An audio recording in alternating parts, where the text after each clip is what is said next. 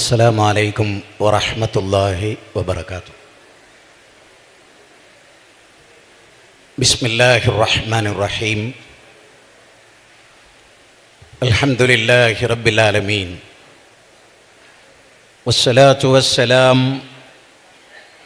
على رسوله الأمين وعلى آله وصحبه أجمعين. أما بعد. ഇന്നുരീതു ഇല്ലല്ലിസ്ലാഹ മസ്തത്തു വമാ തൗഫീഖി ഇല്ല ബില്ലാഹി അലൈഹി തവക്കൽതു വഇലൈഹി ഉനീബ്. റബ്ബി ഇശ്റഹ് ലി സദ്രി വയസ്സിർ വഹ്ലിൽ ഉഖ്ദത്തൻ മിൻ ലിസാനി യഫ്ഖഹു ഖൗലി. ഖുർആൻ സമ്മേളനത്തിന്റെ സമാപനത്തിലേക്ക് പരമകാരുണികനായ അള്ളാഹുവിന്റെ അനുഗ്രഹം കൊണ്ട് നമ്മൾ വന്നു ചേർന്നിരിക്കുകയാണ്. കോഴിക്കോട് ജില്ലയുടെ സൗത്ത് ജില്ല അതിന്റെ യുവജന കൂട്ടായ്മ സംഘടിപ്പിച്ചിട്ടുള്ള ഖുറാനിൽ ഒതുങ്ങി നിന്നുകൊണ്ട് അതിന്റെ ആശയപ്രപഞ്ചത്തെ സംബന്ധിച്ചുള്ള വിവിധ മേഖലകളെ നോക്കിക്കാണുകയായിരുന്നു നാം ഈ സമ്മേളനത്തിലൂടെ. കേരളത്തിന്റെ എല്ലാ ജില്ലകളിലും ഈ സമ്മേളനം ഇൻഷാല്ല നടക്കും നടന്ന് കഴിഞ്ഞ ചില സ്ഥലങ്ങളുണ്ട്. മാറ്റം ഖുർആാനിലൂടെ എന്ന വിഷയത്തെ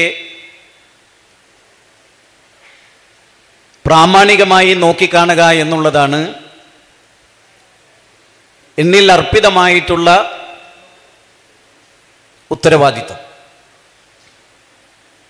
അന്ധകാര നിബിഡമായ ജാഹിലീയത്തിന്റെ അഥവാ അറിവില്ലായ്മയുടെ അജ്ഞതയുടെ ഒരു കാലഘട്ടത്തെ സംബന്ധിച്ച് ലോകചരിത്രം എഴുതിയിട്ടുണ്ട്. ചരിത്രത്തിലെ പുരാതനമായ ചരിത്രത്തിന്റെ ആധുനികമായ അഗാധമായ പഠനങ്ങളെല്ലാം തന്നെ മനുഷ്യൻ എന്ന മഹാസൃഷ്ടിയെക്കുറിച്ചുള്ള ചർച്ചയായിരുന്നു. ആരാണ് മനുഷ്യൻ? ഇവിടെ മാറ്റം പരിവർത്തനം എന്ന ഒരു മനോഹരമായ പദം നമ്മൾ ഉപയോഗിക്കുന്നത് കോടിക്കണക്കിന് ജീവജാലങ്ങളിൽ ഒന്നുമായി ബന്ധപ്പെട്ടതല്ല എന്ന് മനസ്സിലാക്കണം. നമ്മുടെ ചുറ്റുപാട് ജീവിക്കുന്ന ഏതെങ്കിലും ഒരു ജീവി മാറ്റം ആഗ്രഹിക്കാത്ത മാറാത്ത ജീവജാലങ്ങളാണ്. ഒരു സൃഷ്ടിക്കും ഒരു മാറ്റവും കാലം എത്ര മുന്നോട്ട് പോയാലും ഉണ്ടാവില്ല എന്ന തിരിച്ചറിവ് ആദ്യം നമുക്കുണ്ടാകണം. നന്നാവുകയും കേടുവരികയും വീണ്ടും നന്നാവുകയും വീണ്ടും കേടുവരികയും ഒടുവിൽ ചിലപ്പോൾ മഹാനായി മരിക്കുകയും ചിലപ്പോൾ അധമനായി മരിക്കുകയും ചെയ്യുന്ന ഒരേ ഒരു സൃഷ്ടി. ഇത് മനുഷ്യൻ മാത്രമാണ്. അതുകൊണ്ടാണ്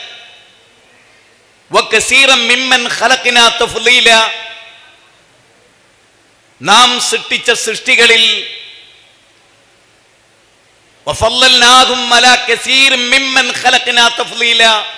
എന്ന ബുദ്ധിജീവിക്ക് വലിയ പ്രാധാന്യമുണ്ടായത്. വലക്കത് കറംന ബനിയാദം എന്ന പദത്തിലൂടെ. എന്ന ഖുറാനിക വചനത്തിലൂടെ.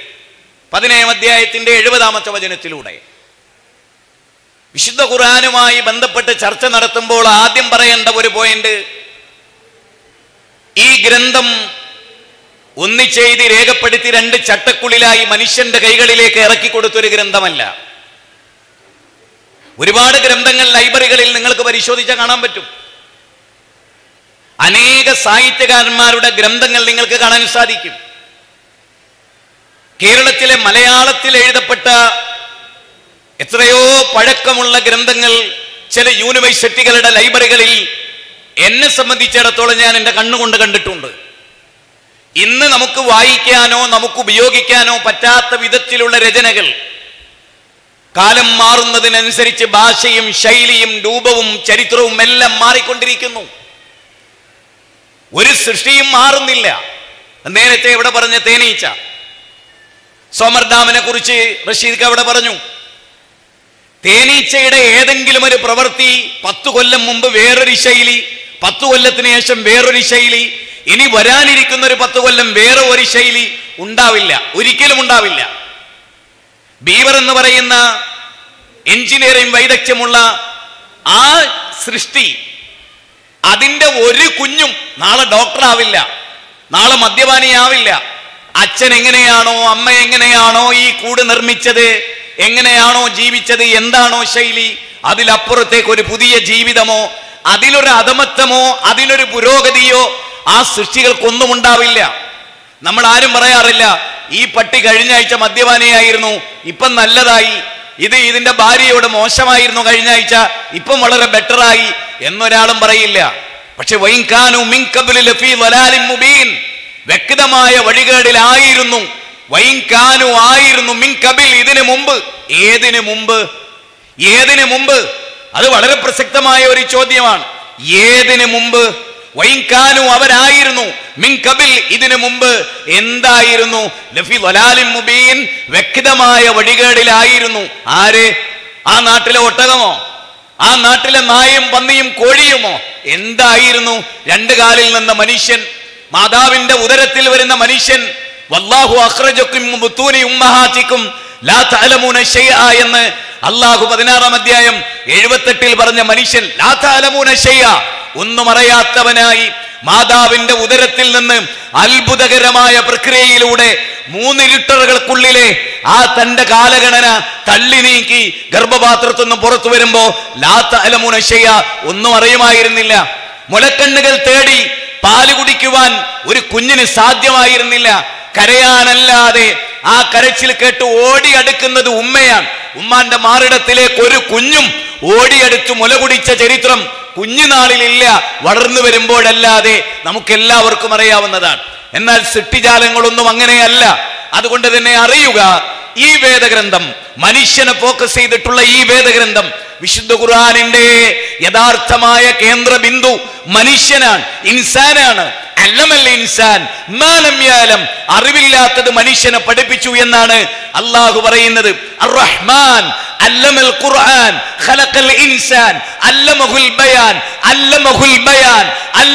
ബയാൻ അമ്പത്തഞ്ചാം അധ്യായത്തിന്റെ ഒന്ന് മുതൽ അഞ്ചു വരെയുള്ള വചനങ്ങളിലെ ഈ അല്ലമഹുൽ ബയാൻ അത് മനുഷ്യനല്ലാതെ വേറൊരാൾക്ക് സൂറത്ത് ബക്കറയാണ് സമയത്തിന്റെ കുറവ് കൊണ്ട് അധ്യായവും വചനവും ഞാൻ പറയുന്നില്ല. ആർക്കും സുപരിചിതമാണ്. എവിടെയാ മാറ്റം? ആരാ മാറേണ്ടത്? ഇന്നല്ലാഹ തീർച്ചയായും അല്ലാഹു ലാ മാ യുഗയ്യിറു മാ ബിഅൻഫുസിഹിം ഒരു ജനത ഒരിക്കലും മാറുകയില്ല. അവരുടെ നിലപാടുകൾ അവർ മാറ്റാത്ത കാലത്തോളം അള്ളാഹു അവരെ മാറ്റുകയില്ല. ഒരു മൃഗത്തെക്കുറിച്ചും അള്ളാഹു പറഞ്ഞിട്ടില്ല.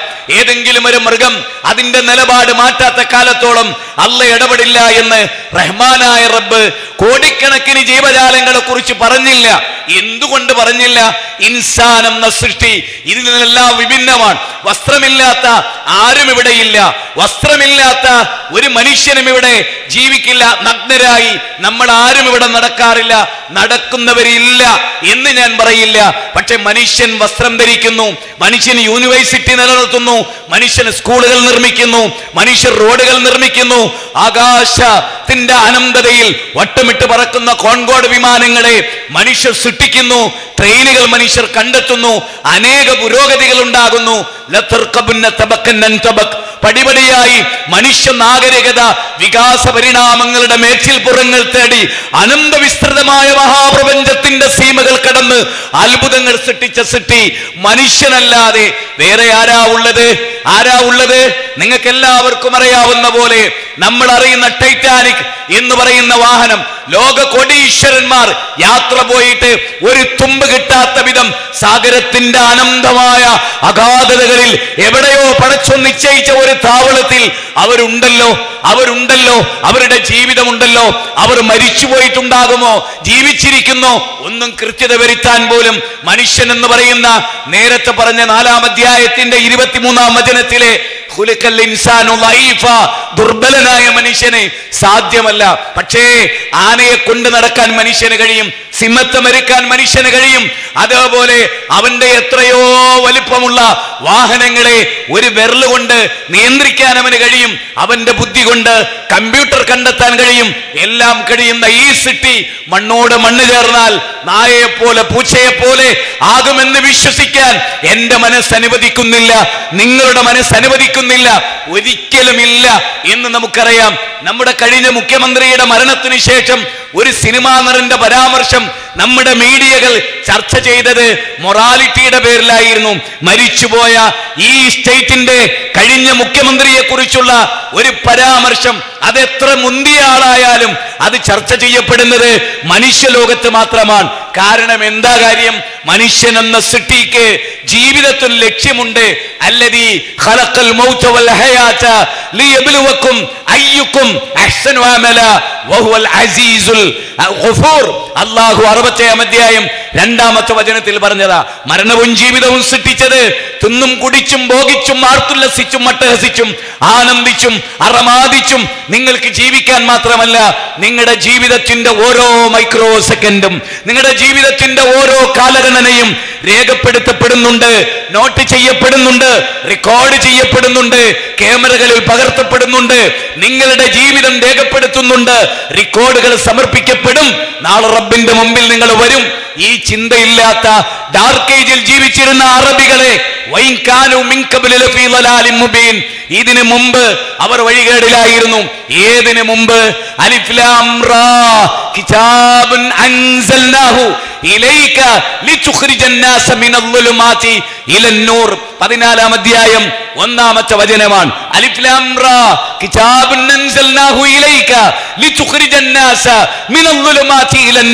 ഇരുട്ടിൽ നിന്ന് വെളിച്ചത്തിലേക്ക് ഒരു ജന്തുവിനെയും ഇരുട്ടിൽ നിന്ന് വെളിച്ചത്തിലേക്ക് നയിക്കേണ്ടി വന്നിട്ടില്ല.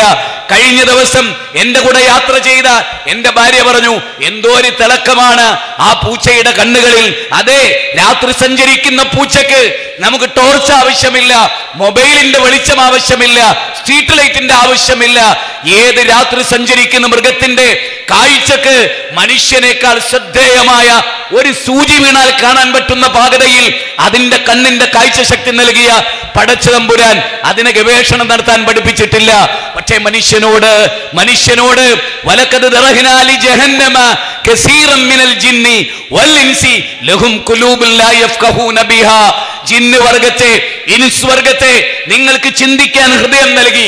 ജിന്നുകൾക്ക് ഹൃദയമുണ്ടെന്ന് ഖുർആൻ. ജിന്നുകൾക്ക് കാതുണ്ടെന്ന് ഖുർആൻ. ജിന്നുകൾക്ക് കണ്ടുണ്ടെന്ന് ഖുർആൻ. മനുഷ്യന്റെ സൃഷ്ടിപ്പിനോട് അനുയോജ്യമായ കാതാണ് മനുഷ്യനെങ്കിൽ കണ്ണാണ് മനുഷ്യനെങ്കിൽ ചിന്താഹൃദയമാണ് മനുഷ്യനെങ്കിൽ ജിന്നിന്റെ സൃഷ്ടിപ്പിനോട് അനുയോജ്യമായ കേൾവിയും കാഴ്ചയും ചിന്തയും അതിനുണ്ടല്ലോ.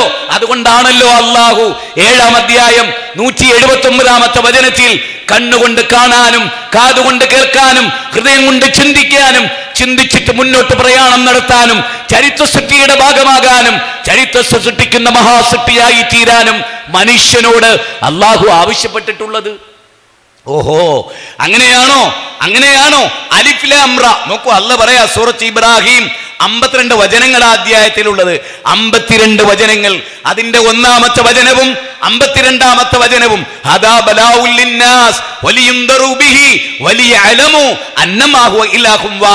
അറിയണം ലോകം അറിയണം മനുഷ്യരാശി അറിയണം ഇവിടുത്തെ ഹിന്ദുവും മുസ്ലിമും ക്രിസ്ത്യാനിയും ജൈനനും ബൗദ്ധനും അറിയണം ഇവിടുത്തെ പായസിയും ഇവിടുത്തെ ഏത് ജാതിക്കാരനും അറിയണം ജാതിക്കതീതമായി ജീവിക്കുന്ന മനുഷ്യർ അറിയണം ലോകത്തിലെ പാശ്ചാത്യരെ പൗരസ്ഥരെ ഗ്രീക്കിലും റോമിലും പേർഷ്യയിലും ഈജിപ്തിലും ഭാരതത്തിലും സംസ്കാരത്തിന്റെ ഉന്നതമായ വിധാനങ്ങൾ പറപ്പിച്ചപ്പോ അന്ന് ഇരുട്ടിലായിരുന്നു അറേബ്യ. ആ അറേബ്യയെ കുറിച്ചാണ് എന്ന് പറഞ്ഞത്. എന്തേ അവിടെ ഉണ്ടായ മാറ്റം? പ്രവാചകൻ നാൽപ്പത് കൊല്ലം അവർക്കിടയിൽ ജീവിച്ചു. അന്ന് അദ്ദേഹം മദ്യപിച്ചിട്ടില്ല. അന്ന് അദ്ദേഹം വ്യഭിചരിച്ചിട്ടില്ല. അന്ന് അദ്ദേഹം പലിശക്ക് കൊടുത്തിട്ടില്ല. അന്നൊരാളുടെ ഹറാമും അദ്ദേഹം തിന്നിട്ടില്ല. ആരുടെ സ്വത്തും അദ്ദേഹം ഭുജിച്ചിട്ടില്ല. ഒരു പെണ്ണിന്റെ നേരെയും അദ്ദേഹം ഒളിക്കണ്ണിട്ട് നോക്കിയിട്ടില്ല. എന്നിട്ടും എന്തേ? നാൽപ്പത് കൊല്ലം ജീവിച്ചിട്ട് നാൽപ്പത് ആളെ പോയിട്ട് നാലാളെ മാറ്റാൻ ആ പ്രവാചകന് കഴിയാതെ പോയത്. ആ പ്രവാചകനെ നോക്കി എന്തേ ലോകം വിപ്ലവത്തിന്റെ പ്രവാചകൻ എന്ന് പറയാതിരുന്നത്? അതെ ജിബ്രീൽ ഇറാ ഗുഹയിൽ വരുന്നത് വരെ വായിക്കുക എന്ന് മനുഷ്യനോടല്ലാതെ ഒരു സിട്ടിയോടും ഒരു ജീവജാലവും ഒരു പുസ്തകവുമായി നടക്കുന്ന ഒരു പൂച്ചയെ നമ്മൾ കണ്ടിട്ടില്ല. ഒരു പുസ്തകം വായിക്കാൻ പോകുന്ന ഒരു പുലിയെ നമ്മൾ കണ്ടിട്ടില്ല. പുസ്തകം രചിച്ച് അതിന്റെ പ്രകാശനം നടത്തുന്ന ഒരു സൃഷ്ടിജാലത്തെയും നമ്മൾ കണ്ടിട്ടില്ല. അതുകൊണ്ട് അറിയുക ആത്മാവ് സന്നിവേശിപ്പിക്കപ്പെട്ട മനുഷ്യനോട് അല്ല പറയാണ്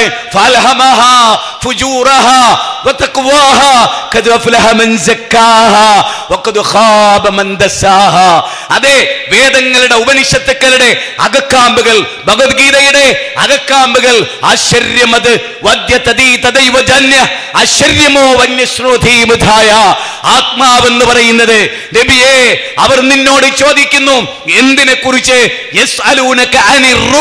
ആത്മാവിനെ കുറിച്ച് ചോദിക്കുന്നു. പറയുക നബിയെ അതല്ലാഹുവിങ്കൽ അവനെ അറിവിൽ മാത്രമുള്ള കാര്യമാണ്. വമാ ഊതീതും മിനൽ ഇൽമി ഇല്ലാ ഖലീലാ. പതിനേഴാം അധ്യായം എൺപത്തഞ്ചാമത്തെ വചന. കുറഞ്ഞ അറിവ് നൽകപ്പെട്ട മനുഷ്യൻ ആത്മാവിനെ കുറിച്ചറിയില്ല എന്നിട്ട് പറയുന്നു ആ ആത്മാവിനെ ആര് ശുദ്ധീകരിച്ചുവോ ആര് വിമലീകരിച്ചുവോ ആര് നന്നാക്കിയോ അവർ വിജയിച്ചു. എന്തേ ഈ നന്നാക്കൽ? എന്തേ ഈ നന്നാക്കൽ? അലാ പ്രവാചക തിരുമേനിയുടെ വചനമാണ്. അലാ ഫിൽ ജസദി മുലാ ഇദാ ജസദു ഫസദൽ ജസദു വഹിയൽ ഖൽബ്. അറിയുക അറിയുക നിങ്ങളുടെ ശരീരത്തിൽ ഒരു മാംസപിണ്ഡമുണ്ട്. അത് നന്നായാൽ ശരീരം മുഴുവനും നന്നായി. അത് കേടുവന്നാൽ ശരീരം മുഴുവനും കേടുവന്നു. അത് നിങ്ങളുടെ ഹൃദയമാണ്. ഇന്നല്ലാഹല്ല ഇന്നല്ലാഹ ലാ യൻദുറു ഇലാ അജ്സാമിക്കും വലാ ഇലാ സുവരിക്കും ولكن ينظر إلى قلوبكم وفي رواية أخرى ولكن ينظر إلى قلوبكم وأعمالكم അറിയുക അള്ളാഹുവിന്റെ നോട്ടം പടച്ചവന്റെ തിരുനോട്ടം നിങ്ങളുടെ ഹൃദയത്തിലേക്കാണ് നിങ്ങളുടെ മനസ്സിലേക്കാണ് ആ മനസ്സിന്റെ ശുദ്ധതയാണ് അള്ളാഹു മുഖവിലക്കെടുക്കുന്നത് അല അറിയണം അത് തക്കവയാണ് സൂക്ഷ്മതയാണ് ഹൃദയശുദ്ധിയാണ് ഹൃദയത്തിന്റെ വസന്തമാണ് അതുകൊണ്ടാണ് അൽ ഖുർആനു റബീയ ഖൽബി ഖുർആനിന്റെ ഹൃദയത്തിന്റെ വസന്തമാക്കണേ. പടച്ചോനേന്ന് നെഞ്ചത്ത് തട്ടി ആകാശഭൂമികളുടെ നാഥനോട് നാം ദുവാ ചെയ്യുന്നത്. നമ്മുടെ ചുറ്റുവട്ടത്ത് ജീവിക്കുന്ന കോടിക്കണക്കായ മനുഷ്യർ നാളെ നരകത്തിലേക്ക് നടന്നു നീങ്ങുന്ന ഒരു ഘട്ടമുണ്ടെങ്കിൽ അത് തടുത്തു നിർത്തേണ്ടവർ അഥവാ അവരെ ഉദ്ധരിക്കേണ്ടവർ നമ്മളാണ്. നാം അറിയണം. നാം അറിയണം ജഫ്രി ലാങ് എന്ന് പറയുന്ന യൂറോപ്പിലെ ഒരു വലിയ ചിന്താ പ്രസ്ഥാനത്തിന്റെ നേതാവ് ഇസ്ലാം സ്വീകരിച്ചു. ഈ അടുത്ത കാലത്ത് നമുക്കറിയാവുന്നതാണ്. വിശുദ്ധ ഖുർആാനിലെ രണ്ടാം അധ്യായം നാൽപ്പത്തിനാലാമത്തെ വചനമാണ്. അദ്ദേഹത്തിന്റെ പരിവർത്തനത്തിന്റെ കാരണമായി അദ്ദേഹം തന്നെ പറയുന്നത്. ഏതാണ് ആ വചനം?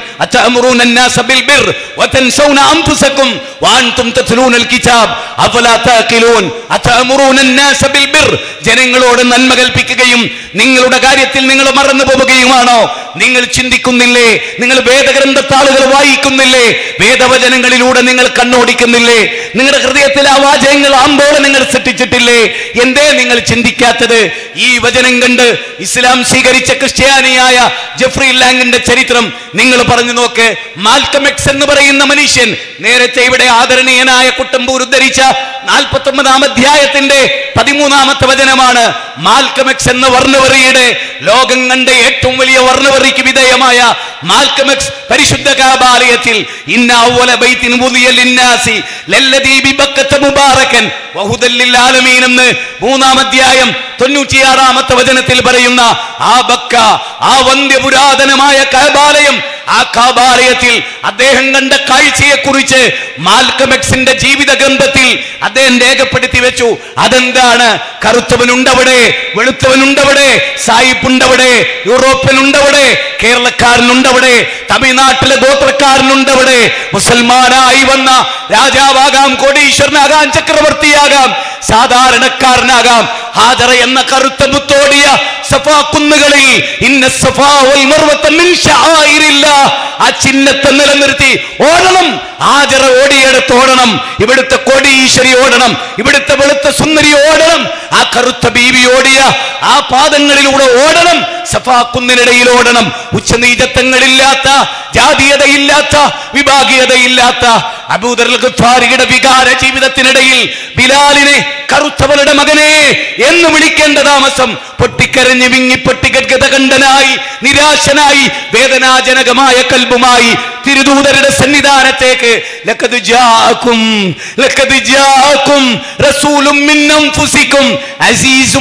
മാനിക്തും ബിൽ റഹീം. ലഖദ് ലഖദ് ലഖദ് മിൻ അൻഫുസിക്കും. നിങ്ങളിൽ നിന്ന് തന്നെയുള്ള ഒരു ദൂതനെ നിങ്ങൾക്ക് ലഭിച്ചിരിക്കുന്നു. അസീസുൻ അലൈഹി ഹരീസുൻ ബിൽ അദ്ദേഹത്തിന് കൃപയുണ്ട്. മുഅ്മിനീങ്ങളോട് അദ്ദേഹത്തിന് സ്നേഹമുണ്ട്. നിങ്ങൾ കഷ്ടപ്പെടുക എന്നത് ഇഷ്ടമില്ലാത്ത ആ മാനുഷികത്തിന്റെ പ്രവാചകൻ ആ വിശ്വാചാര്യൻ സ്നേഹത്തിന്റെ മഹാനിദർശനം ജീവിതത്തിന്റെ നിരാശാജനകമായ ജീവിതത്തിന്റെ അനാഥത്വത്തിന്റെ കൈപ്പുനീരുകൾ കുടിച്ച് മാനസമൂഹത്തെ ചേർത്ത് പിടിച്ച അതേ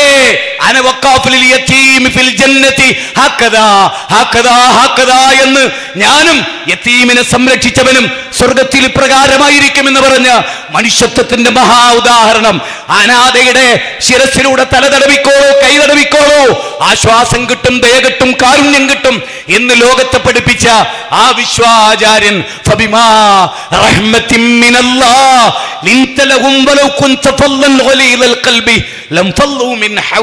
പ്രവാചക പ്രവാചക അങ്ങ് പ്രവാചക അങ്ങ് അങ്ങ് എന്താണ്?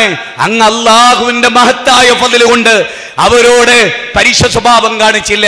ബിലാർ റഹ്ലാൻ ഓടിച്ചെന്നിട്ട് പറഞ്ഞു എന്നെ അബൂദർ ഗഫാരി കറുത്തവരുടെ മകനെ എന്ന് വിളിച്ചു. അതെന്നെ വേദനിപ്പിച്ചു. അബൂദർ ഗഫാരിയെ വിളിച്ച് പ്രവാചകൻ പറഞ്ഞു "യാ അബൂദർ, താങ്കൾ ഇങ്ങനെ വിളിച്ചോ? ഇങ്ങനെ പറഞ്ഞോ? അതെ ഞാൻ അങ്ങനെ പറഞ്ഞുപോയി. അങ്ങയിൽ ജാഹ്ലിയത്തിന്റെ അംശമുണ്ട് എന്നാണ് എന്റെ സഹോദരങ്ങളെ ഇവിടെ ഇരിക്കുന്ന ഒരാളുടെയും കറുപ്പും വെളുപ്പും നോക്കിയല്ല. അള്ളാഹു നമ്മളെ ഇന്നോദിയ മകരവിനോദിയ മനോഹരമായ ഖുർആൻ വചനത്തിൽ നാം കേട്ടല്ലോ അല്ലാത്ത ഒരാളുടെ പാപഭാരവും മറ്റൊരാൾ ചുമക്കാത്ത ഒരു ലോകത്തെക്കുറിച്ചുള്ള ചിന്തയായിരുന്നു. പെൺകുട്ടികളെ ജീവനോടെ കുഴിച്ചു മൂടിയിരുന്നു അവർ. അത് അതാണ് അള്ളാഹു ചോദിച്ചത്. മോളെ എന്തേ നിന്നെ ജീവനോടെ അവർ കുഴിച്ചു മൂടിയത്? എന്തേ നിനക്ക് സംഭവിച്ചത്.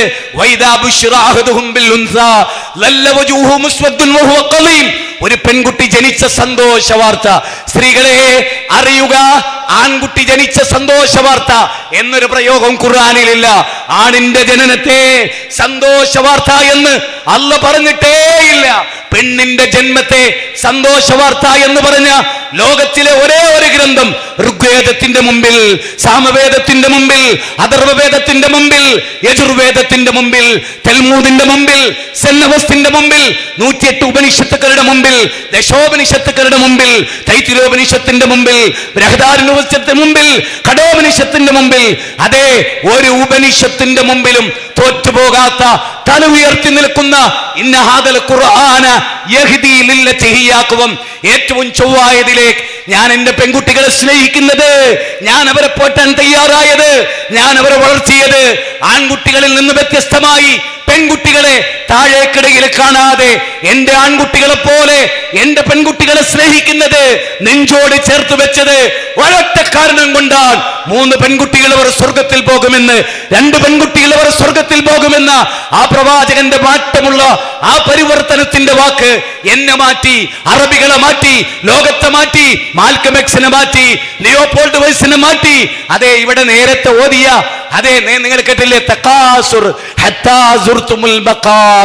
ആ ആയത്താണ് ലിയോപോൾഡ് വൈസിനെ റോഡിട്ട് മക്കയുടെ കർത്താവിനെ മാറ്റിയത്. ആരായിരുന്നു? സഹോദരങ്ങളെ ആരായിരുന്നു സുബൈർ ബിൻ മുത്തൈം?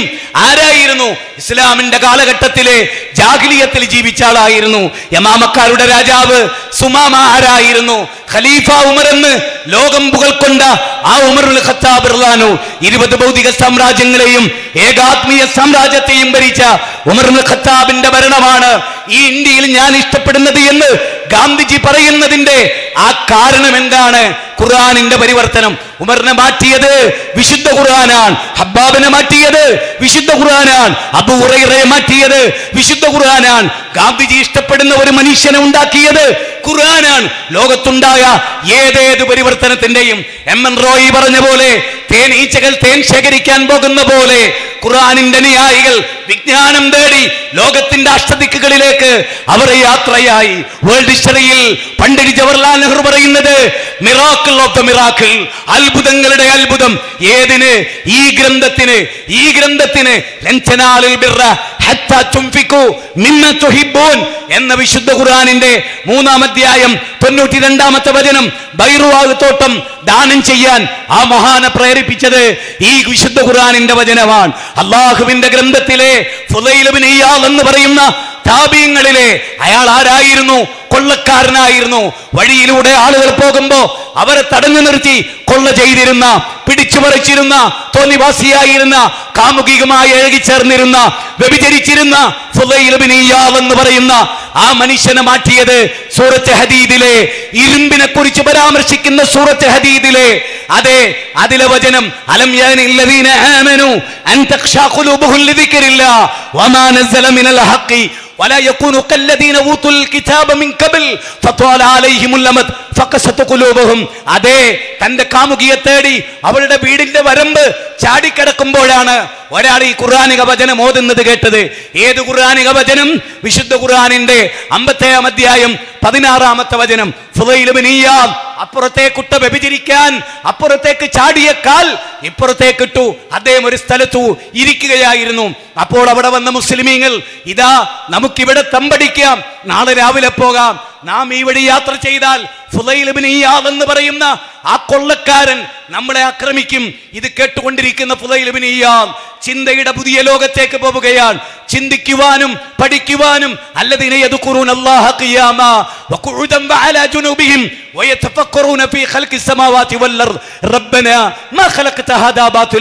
അതെ സൂറത്ത് ആൽ ഇംറാന്റെ 90ാമത്തെയും 91ാമത്തെയും വചനമാണ്. നിന്നും ഇരുന്നും കിടന്നും ചിന്തിച്ചു. പിന്നീട് അദ്ദേഹം ഷെയ്ഖുൽ ഇസ്ലാമായി പിന്നീട് ഹറമിലെ ഏറ്റവും വലിയ ഇബാദത്ത് ചെയ്യുന്ന ആളായി.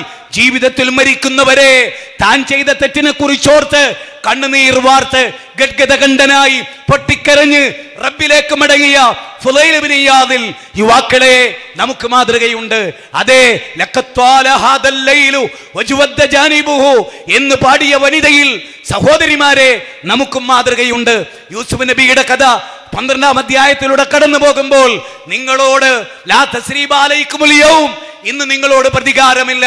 പൊട്ടക്കിണറിലേക്ക് വലിച്ചെറിഞ്ഞ് കൊല്ലാൻ ശ്രമിച്ചവരോട് സിംഹാസനത്തിൽ ഇരിക്കുമ്പോഴും ഏറ്റവും മതമത്വത്തിന്റെ ആ കിണറിന്റെ പൊട്ടക്കിണറിലായത്തിലേക്ക് കൊല്ലാനിട്ടവർ തന്റെ മുമ്പിൽ വന്നിരിക്കുമ്പോൾ മനുഷ്യനുയരാവുന്ന രാജകീയ പദവിയുടെ പരമോന്നത സ്ഥാനത്തിരിക്കുമ്പോൾ ലാ തസ്രീബാലയിക്ക് മുല്യവും എന്റെ സഹോദരന്മാരെ നിങ്ങളോട് എനിക്ക് പ്രതികാരമില്ല. നിങ്ങളോട് എനിക്ക് അസൂയയില്ല നിങ്ങളോട് എനിക്ക് വിരോധമില്ല നിങ്ങളോട് എനിക്ക് വിദ്വേഷമില്ല. ഇന്ന് ഞാൻ നിങ്ങളോട് കുത്തുവാക്ക് പോലും പറയുന്നില്ല. ആ യൂസുഫിൽ നമുക്ക് മാതൃകയുണ്ട്. സഹപ്രവർത്തകരെ കുത്തുവാക്ക് കൊണ്ട് വേദനിപ്പിക്കുമ്പോഴും ഭാര്യയെ ചീത്ത വാക്ക് ഉപയോഗിക്കുമ്പോഴും മക്കളോട് മോശമായി പെരുമാറുമ്പോഴും നേതൃത്വത്തോട് അപമര്യാദയായി പെരുമാറുമ്പോഴും ഓർക്കുക ഒരു ലോകം വരാനിരിക്കുന്നു എന്ന്. ആ ലോകത്തെ കുറിച്ചോർത്തുള്ള ഓർമ്മകളാണ് അബൂബക്കർ സിദ്ദീഖിനെ മാറ്റിയത്. ഹറാമായ ഒരു ഭക്ഷണം ജീവിതത്തിൽ ഒരിക്കൽ കഴിച്ചുപോയ അബൂബക്കർ സിദ്ദീഖ് അത് മനസ്സിലാക്കി വായിലേക്ക് കൈയിട്ട് അത് മുഴുവൻ ഛർദിച്ചു കളഞ്ഞ് റബ്ബിലേക്ക് കൈ നീട്ടിയ മഹാനായ അബൂബക്കർ സിദ്ദീഖ് സ്വർഗത്തിന്റെ എട്ട് വാതിലുകളിലൂടെ വിളിക്കപ്പെടുന്ന അബൂബക്കർ സിദ്ദീഖ് അവരൊക്കെയാണ് നമ്മുടെ റോൾ മോഡലുകൾ. അതുകൊണ്ടാണ് അള്ളാഹു സുബാന വച്ചാല നാൽപ്പത്തെട്ടാം അധ്യായം ആ അധ്യായത്തിൽ ഒരു വചനത്തിലൂടെ പഠിപ്പിച്ചത് മുഹമ്മദ്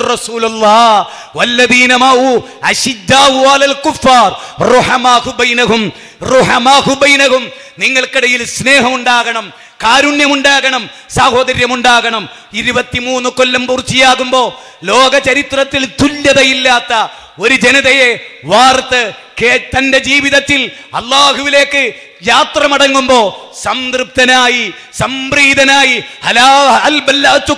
ഞാൻ നിങ്ങൾക്ക് എത്തിച്ചു തന്നില്ലയോ? എന്നാ മഹാദൗത്യം. ഇനി ഒരു വേദഗ്രന്ഥം വരാനില്ല. ഇനി ഒരു പ്രവാചകൻ വരാനില്ല. ഈ ദൗത്യം എത്തിച്ചു കൊടുക്കേണ്ടത് നമ്മളാണ്.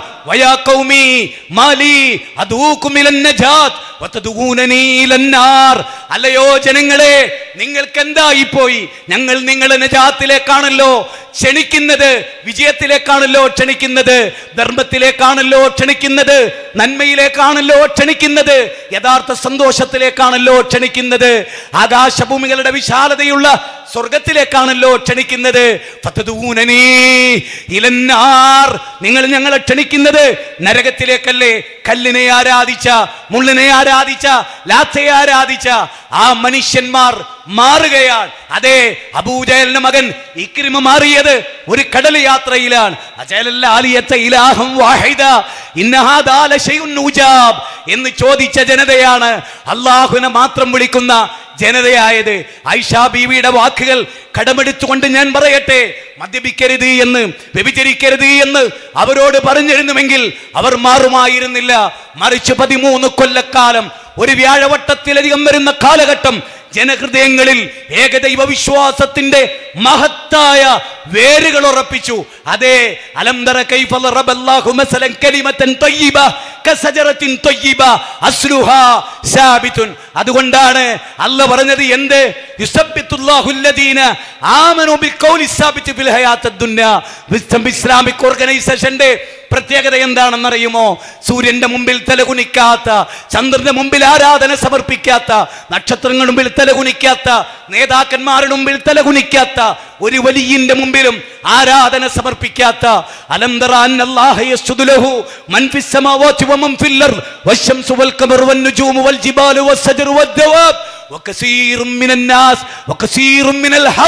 സൂറത്ത് ഹജ്ജിലെ പതിനെട്ടാമത്തെ വചനമാണ്. ഇല്ല സൂര്യന്റെ മുമ്പിൽ സുജൂതില്ല ചന്ദ്രന്റെ മുമ്പിൽ സുജൂതില്ല സെട്ടിച്ച നാഥന്റെ മുമ്പിലല്ലാതെ ഒരു മുസൽമാൻ സുജൂതി ചെയ്യില്ല ഒരു ദർഗയുടെ മുമ്പിൽ സുജൂതി ചെയ്യില്ല. അവന്റെ ധൈര്യം അവന്റെ സ്ഥൈര്യം അല്ലദീന യുബല്ലിഊന റിസാലാത്തില്ല വയക്ഷൗനഹു വ- വയഖ്ശൗനഹു അല്ലാതെ ആ ദായി ഒരാളെയും പേടിക്കുകയില്ല. ഒരാക്ഷേപകന്റെ ആക്ഷേപത്തെയും അവൻ ഭയപ്പെടില്ല. ഒരു ഇരുട്ടിലും അവനൊരു ഭീകരവാദ പ്രവർത്തനം ചെയ്യില്ല. ഒരു തീവ്രവാദ പ്രവർത്തനം ചെയ്യില്ല. മിന്നജലിദാലിക് അല്ല പറയുകയാണ് ഒരു നഫ്സിനെ അന്യായമായി കൊന്നാൽ.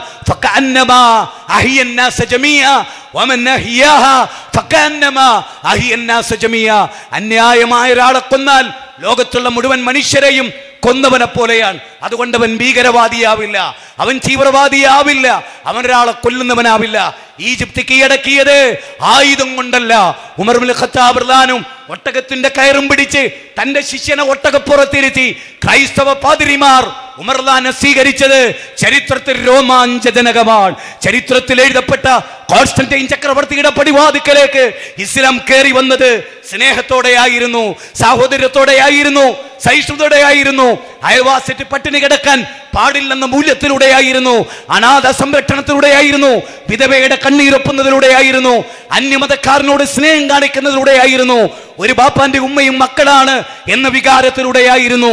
സഹോദര സഹോദരി അത്ഭുതകരമാണ്. നിങ്ങളുടെ ഈ ഓഡിറ്റോറിയത്തിൽ ആയിരക്കണക്കിന് രണ്ടായിരത്തി മുന്നൂറോളം വരുന്ന ആളുകൾക്കുള്ള ഫുഡ് വരെ ഇവിടെ തയ്യാർ ചെയ്യപ്പെട്ടു എന്നാണ് ഞാൻ മനസ്സിലാക്കുന്നത്. അതിശക്തമായി കാർമേഘ കീറുകളിൽ നിന്ന് മഴ ചൊരിയുമ്പോഴും നിങ്ങളൊക്കെ ഇവിടെ വന്നത് ഈ ഖുർആാനിന്റെ മാസ്മരികത കൊണ്ടാണ് ഈ വേദഗ്രന്ഥത്തിന്റെ മാസ്മരികത കൊണ്ടാണ്. ഈ വേദഗ്രന്ഥം മനുഷ്യനെ ഓർമ്മപ്പെടുത്തുന്നു. കുല്ലുമന്നലൈ അലൈഹാഫാൻ നിങ്ങൾ രാ നോക്കൂ എല്ലാം നശിക്കും എല്ലാം തകരും എല്ലാം തകരും. അന്ന് അള്ളാഹുവിന്റെ മുമ്പിൽ നിങ്ങൾ ചെന്ന് നിൽക്കും. പേടിക്കണം ഒരു സഹാബി ഭാര്യയുടെ മടിത്തട്ടിലിരുന്ന് കരയുകയായിരുന്നു. വിങ്ങിപ്പൊട്ടിക്കരഞ്ഞ് ഭർത്താവിന്റെ കരച്ചിൽ കേട്ട് ആ ഭാര്യയും പൊട്ടിക്കരഞ്ഞു. ഭർത്താവ് ചോദിച്ചു എടി ഞാൻ കരയുന്നത് ഒരു കാരണം കൊണ്ടാണ്. നീ എന്തേ കരഞ്ഞത്? നീ എന്തിനാ വിങ്ങിപ്പൊട്ടിയത് നിങ്ങൾ എന്റെ പ്രിയതമൻ നിങ്ങൾ കരഞ്ഞു. നിങ്ങളുടെ വേദന എന്റെ വേദനയാണ്. എനിക്ക് കാരണം അറിയില്ല അപ്പോൾ അദ്ദേഹം പറഞ്ഞു അള്ളാഹുവിന്റെ ഗ്രന്ഥത്തിലെ പത്തൊമ്പതാം അധ്യായം പത്തൊമ്പതാം അധ്യായം എഴുപത്തി ഒന്നാമത്തെ വചനം മഖ്ദിയ. ആ നരകത്തിന്റെ വക്കിൽ വരാത്തവരായിട്ട് ഒരാളും തന്നെയില്ല. ആ നരകത്തിന്റെ വക്കിൽ വരാത്തവരായിട്ട് ഒരാളും തന്നെയില്ല. അത് റബ്ബിന്റെ വിധിയാണ്. അമ്പിയാക്കൾ വരും അവിടെ ഔലിയാക്കൾ വരും അവിടെ ആരിഫ്യങ്ങൾ വരും അവിടെ എല്ലാവരും അവിടെ വരും കുറ്റവാളികൾ വരും അവിടെ. എന്നിട്ട് അദ്ദേഹം പറയുകയാണ് ആ നരകത്തിന്റെ വക്കിലൂടെ പോകുമ്പോ എന്റെ നാഥൻ എനിക്ക് തിരഞ്ഞെടുക്കുന്നത് നരകമായിരിക്കുമോ സ്വർഗമായിരിക്കുമോ? എനിക്കറിയില്ല. അവരുടെ കണ്ണുകൾ ഇരണിഞ്ഞു. നബി മിമ്പറിൽ കുത്തുബ നടത്തി. നബി കരയുന്നു സഹാബത്ത് കരയുന്നു. ലോകം അതിനു മുമ്പൊന്നും അങ്ങനെ ഒരു ജനത വേദഗ്രന്ഥത്തിന്റെ പേരിൽ കരഞ്ഞത് അവർ കണ്ടിട്ടില്ല. രണ്ട് ചട്ടക്കൂടുകളുടെ ഉള്ളിൽ ഈ ഖുർആാനിന്റെ നൂറ്റി പതിനാല് അധ്യായങ്ങൾ പൂർത്തീകരിക്കപ്പെടുമ്പോൾ ആ ഗ്രന്ഥത്തിന് അനുരൂപമായ ഒരു ജനതയല്ല സുഹൃത്തുക്കളെ ഒരു പഞ്ചായത്തല്ല ഒരു ജില്ലയല്ല ഒരു രാഷ്ട്രമല്ല. ഇരുപത് രാഷ്ട്രങ്ങൾ പൂർത്തീകരിച്ചുകൊണ്ട് നാല് ഖലീഫമാരുടെ ജൈത്രയാത്ര ബൈബിളിന് അവകാശപ്പെടാൻ കഴിയില്ല തെൽമൂദിന് അവകാശപ്പെടാൻ കഴിയില്ല. നെഞ്ചുറപ്പോടെ അഭിമാന പുരസരം ഈ വിനീതനായ ദായി നിങ്ങളോട് പറയുന്നു അഭിമാനിക്കുക അന്തസ്സോടെ ജീവിക്കുക ഖുറാനിന്റെ തണലിൽ ജീവിക്കുക ഈ വേദഗ്രന്ഥത്തെ നെഞ്ചതോടെ ഏറ്റുക. അല്ല പറഞ്ഞത് അതാണ്. അതെ ഖുർആനി നിങ്ങൾക്ക് മുക്മിനീങ്ങളെ ആശ്വാസമാണ്. അവസാനിപ്പിക്കുമ്പോൾ രണ്ട് പോയിന്റ് പറഞ്ഞ് അവസാനിപ്പിച്ചു കൊള്ളട്ടെ. എന്താ അത്? എന്താ അത്? ആ വാചകം ഇതാണ്. ഓരോരുത്തരോടും ഞാൻ പറയുന്നു വിശുദ്ധ ഖുർആൻ. ഇന്ന് രാവിലെ വായിച്ചവർ എത്ര പേരുണ്ട്? ഇന്ന് ഉച്ചയ്ക്ക് വായിച്ചവർ എത്ര പേരുണ്ട്? വൈകുന്നേരം വായിച്ചവർ എത്ര പേരുണ്ട്? വാട്സപ്പിൽ മെസ്സേജ് കണ്ടവർ ഗ്രൂപ്പുകളിൽ നോക്കിയവർ അതുപോലെ തന്റെ നേതാവ് മരിച്ചപ്പോ ഫുൾ ടൈം അവിടെ പോയി നിന്നവർ എല്ലാമാകാം. പക്ഷേ നമ്മുടെ ഫോണിൽ ഒരു കൂട്ടുകാരന്റെ മെസ്സേജിന് ഇത്ര പ്രാധാന്യമെങ്കിൽ അള്ളാഹുവിന്റെ മെസ്സേജിന് നമ്മെ സൃഷ്ടിച്ച റബ്ബിന്റെ മെസ്സേജിന് നമ്മെ കണ്ടുകൊണ്ടിരിക്കുന്ന റബ്ബിന്റെ മെസ്സേജിന് നമുക്ക് തിരിച്ചു ചെല്ലാനും കണ്ടുമുട്ടാനുമുള്ള റബ്ബിന്റെ മെസ്സേജിന് നാം എന്തേ പ്രാധാന്യം കൊടുക്കാത്തത്? അതെ അള്ളാഹുവിന്റെ റസൂലിന്റെ പരാതി വഖാല റസൂൽ യാ റബ്ബി ഇന്ന ഖൗമി ഹാദൽ ഹാദൽ ഖുർആന മഹജൂറ എന്റെ ജനത ഖുർആാനിനെ അഗണ്യകോടിയിലേക്ക് തള്ളിക്കളഞ്ഞു. അതുകൊണ്ടാണ് നാഥ ഈ ഗതികേടവർക്ക് വന്നത്. ഇരുപത്തഞ്ചാം അധ്യായം മുപ്പതാമത്തെ വചനമാണ്. സഹോദരങ്ങളെ അവസാനിപ്പിക്കുമ്പോൾ ഒരു ഖുർആാനിക വചനം കൂടി. അറബ് ജനതയ്ക്ക് പ്രമാണമുണ്ടായിരുന്നില്ല.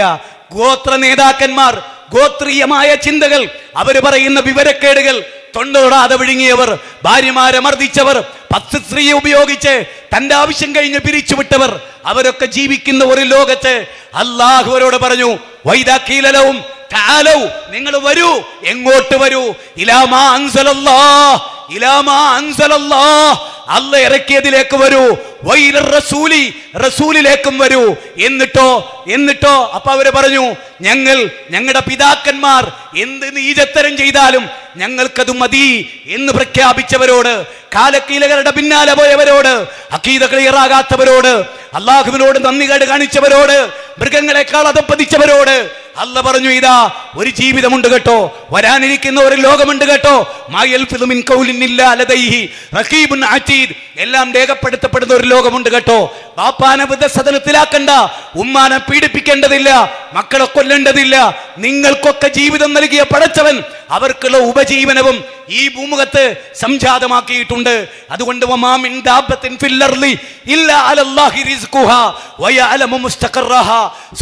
ആറാമത്തേതാണ്. എത്ര കുട്ടികൾ ഉണ്ടാവട്ടെ എത്ര കുട്ടികൾ ഉണ്ടാവട്ടെ പുതിയ മക്കൾ വരട്ടെ. സഹോദരങ്ങളെ പതിനൊന്ന് കുഞ്ഞുങ്ങളുടെ സംരക്ഷണമുള്ള ഒരെളിയ പ്രബോധകൻ എന്ന നിലയിൽ ഞാൻ പറയുന്നു ഓരോ കുഞ്ഞു ജനിക്കുമ്പോഴും സൗഭാഗ്യങ്ങളുടെ വാതിലുകൾ ഒന്നൊന്നായി തുറന്നു തരുന്ന പരമകാരുണികനായ റബ്ബ്.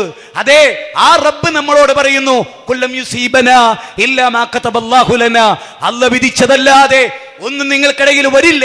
അതുകൊണ്ട് ഈ ഓഡിറ്റോറിയത്തിൽ പിരിയുമ്പോ നാം ഒരു പ്രഖ്യാപനം നടത്തുന്നു. ആ പ്രഖ്യാപനം എന്താണ്? എന്നെ ബാധിച്ചതെന്തും എന്നെ ബാധിക്കേണ്ടതാണെന്നും എന്നെ വിട്ടൊഴിഞ്ഞു പോകേണ്ടതെന്നും എന്നെ വിട്ടൊഴിഞ്ഞു പോകേണ്ടതാണെന്നും വിശ്വസിക്കാത്ത കാലത്തോളം നിങ്ങൾ വിശ്വാസികളാവുകയില്ല. വിശ്വാസികളെ മുക്മിനീങ്ങളെ വൽ മുക്മിനൂന വൽ മുക്മിനാത്ത് ബഅ്ദുഹും ഔലിയാഉ ബഅ്ദിൻ സത്യവിശ്വാസിയും വിശ്വാസിനികളും സഹോദരങ്ങളാണ് ഇഖ്വാനുകളാണ് മുക്മിനീങ്ങളാണ് സ്നേഹിക്കപ്പെടേണ്ടവരാണ്. അസൂയ വെക്കേണ്ടവരല്ല വെറുപ്പ് പ്രചരിപ്പിക്കേണ്ടവരല്ല കുറ്റവാളിയാക്കേണ്ടവരല്ല വേദനിപ്പിക്കേണ്ടവരല്ല. റൊഹമാഹുബൈനകും റുഹമാഹുബൈനഹും അത് നിലനിൽക്കട്ടെ എന്ന് കൃത്രിമത്തിൽ തട്ടി പ്രാർത്ഥിച്ചുകൊണ്ട് ഈ മഹാസമ്മേളനത്തെ അഭിസംബോധന ചെയ്യാൻ സമയം അനുവദിച്ചതിനും ഇതിലേക്ക് ക്ഷണിച്ചതിനും ഇതിന്റെ സംഘാടകർക്ക് നന്ദി പറഞ്ഞുകൊണ്ട് ഇവിടേക്ക് വരാനും ഒരു മാസ വിശ്രമത്തിന് ശേഷം സംസാരിക്കാനും സൗഭാഗ്യം നൽകിയ കരുത്തു നൽകിയ ഓർമ്മശക്തി നൽകിയ ചിന്താശകലം നൽകിയ കിടന്ന കിടപ്പിൽ ഓർമ്മകളിലൂടെ വിഷയങ്ങളെ തള്ളിച്ചു തന്ന പരമകാരുണിക നാഥ നിന്നെ സ്തുതിച്ചുകൊണ്ട് ഈ ഇരിക്കുന്ന ഞങ്ങളാരും ഇവിടെയുള്ള സംഘാടകരാരും എല്ലാം തികഞ്ഞവരല്ല. ഞങ്ങളുടെ നേതാക്കന്മാർ സാധാരണക്കാരിൽ സാധാരണക്കാരാണ്. ഈ നേതൃത്വം പടച്ചവനെ അബദ്ധം ചെയ്തിട്ടുണ്ടെങ്കിൽ ഞങ്ങൾക്ക് നീ പൊറത്തു തരണമേ. അനുയായികൾ അവരോട് അബദ്ധം കാണിച്ചിട്ടുണ്ടെങ്കിൽ നീ ഞങ്ങൾക്ക് പൊറത്തു തരണമേ. ഈ നാട്ടിലെ ഒരൊറ്റ മനുഷ്യരെയും വിടാതെ ഞങ്ങൾ സന്ദർശിക്കാൻ ഞങ്ങൾ ശ്രമിച്ചിട്ടുണ്ട്. ഞങ്ങളുടെ റൂട്ട്സിലൂടെ ഞങ്ങളുടെ സെമിനാറുകളിലൂടെ ഞങ്ങളുടെ ഹദീസ് സെമിനാറിലൂടെ ഞങ്ങളുടെ ഖുർആൻ സമ്മേളനത്തിലൂടെ ഞങ്ങളുടെ കോഴിക്കോട് കടപ്പുറം സമ്മേളനത്തിലൂടെ ലക്ഷോപലക്ഷം വരുന്ന മനുഷ്യർക്ക് ഈ ഖുർആാനിന്റെ മെസ്സേജ് ഈ വിമോചനത്തിന്റെ സന്ദേശം ഈ മാനവികതയുടെ സന്ദേശം ഈ ധാർമ്മികതയുടെ സന്ദേശം ഈ മഹത്തായ ജീവിത സംവിധാനത്തിന്റെ സന്ദേശം ഞങ്ങളുടെ കഴിവിന്റെ പരമാവധി ഞങ്ങൾ എത്തിച്ചു കൊടുത്തിട്ടുണ്ട്. ഞങ്ങൾക്ക് പൊറത്തു തരണമേ. ഞങ്ങളുടെ കർമ്മങ്ങൾ നീ സ്വീകരിക്കണമേ. റബ്ബനാത്ത തഖബ്ബൽ മിന്ന റബ്ബനാത്ത തഖബ്ബൽ മിന്ന. അല്ലാഹുവേ ലക്ഷക്കണക്കിന് രൂപ ബാധ്യതയുള്ള ഒരു പ്രോഗ്രാമാണിത്.